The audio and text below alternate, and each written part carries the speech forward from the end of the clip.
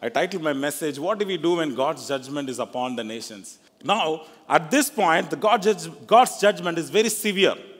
Severe in the sense, some nations were defeated by neighboring countries, uh, some nations were put into exile, some nations uh, didn't have uh, the voice of God, people were not responding to what God was sharing. So, all of the judgment was happening when, uh, around this time. And why God's judgment was happening upon this nation was that they were indulged in adultery, idolatry, and social injustice. You know, these were the top three, the sins of this land. When I say sins of the land, the people were involved in this. Now, Jeremiah is not only the prophet to the Israel and Judah, he was living there, geographical Israel and Judah, but he was a prophet to the nations as well. You know, the nations which were around uh, the nation of Israel. And uh, the last time we spoke, we spoke that, you know, if people walk in disobedience, like individual, all of us individuals walk in disobedience, the judgment comes upon the whole of nation. It does not come only on individual, it comes upon across all the nations as well. But the opposite of that is that if people walk in obedience, that individuals walk in obedience, God is able to rescue the whole of nation. The case in point being Sodom and Gomorrah, when Lot and his family was there, God first pulled them out of Sodom and Gomorrah, and then the judgment of God came upon the, the Sodom and Gomorrah. When God intended to destroy the world by flood, he ensured that Noah and his family were safe and then the judgment of God came. So if we walk in obedience as individual, if we walk in obedience, there is a high chance, biblically speaking, that we can allow God's mercy to be showered upon our nation. No, that's what uh, we have been sharing so far. You know, the second one is the Lord rules over all. You know, there is no one who has advised God. God there is no one who can summon God. And that's what Jeremiah 49 19, he says, I will appoint over the, her whomever I choose. For who is like me? Who will summon me? What shepherd can stand before me? Verse 38 I will set my throne in Elam, Elam and destroy her of kings and officials, declares the Lord. You know, God is an ultimate authority across all the situations that we see around us. And that's why we keep saying, no matter what is the circumstance, trust God because He has control. The truth is, He is actually in control of every circumstance. He, is, so, he has sovereign control over all of creation. He is the beginning and the end. He is the Alpha and the Omega. Psalms 135, he says, God does whatever it pleases him. He does whatever it pleases in heaven, on earth, in the seas, and in the deeps. It means he is able to exercise that kind of absolute control because he is the one who created it.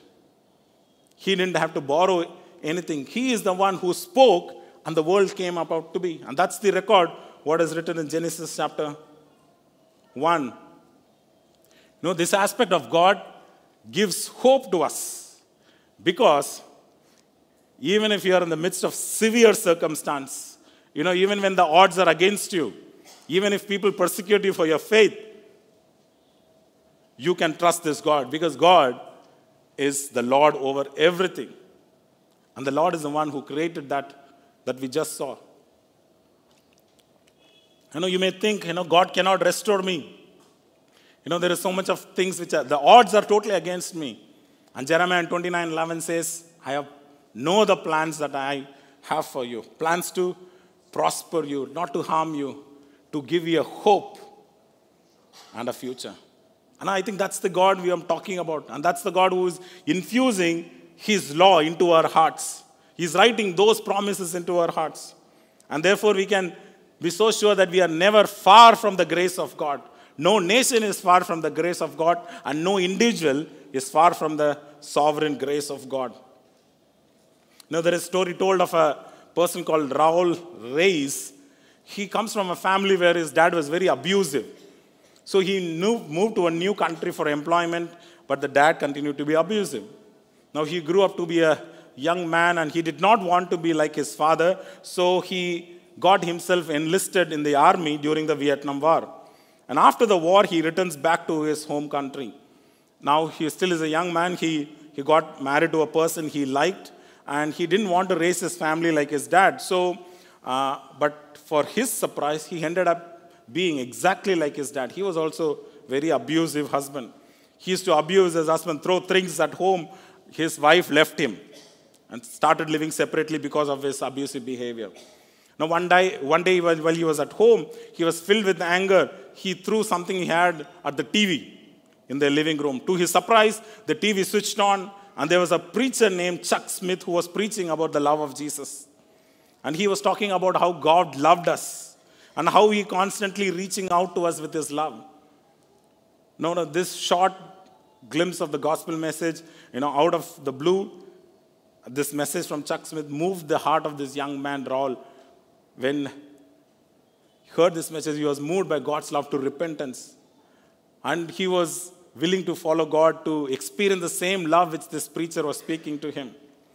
Now, after he experienced this kind of love, it's an immediate transformation for him. Even I was watching via the TV, like Percy was saying, somebody was watching, you know, in, in his home. His life was, he was filled with the love of God, and he realized that he had been living a very uh, abusive life. He goes to his wife's house. She had not gone far from her. She was living down the lane. She knocks on the door to tell her that he is a changed man. I just heard this message and I'm a changed man.